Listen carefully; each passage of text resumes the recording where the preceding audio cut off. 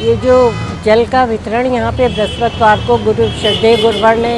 शुरू किया है ये ईश्वरीय जल है ये हमारा जल नहीं है क्योंकि ये ईश्वरीय जल है इसमें इसके गुण भी ईश्वरीय हैं और ईश्वरीय गुण से कोई भी ए, संसार का कोई भी व्यथा ए, कोई भी दुख कोई भी बीमारी सब चली जाती है और किसकी बीमारी कितने जल्दी चली जाएगी अपनी श्रद्धा पे डिपेंड करता है। जो जितनी श्रद्धा से इसका जल का सेवन करेगा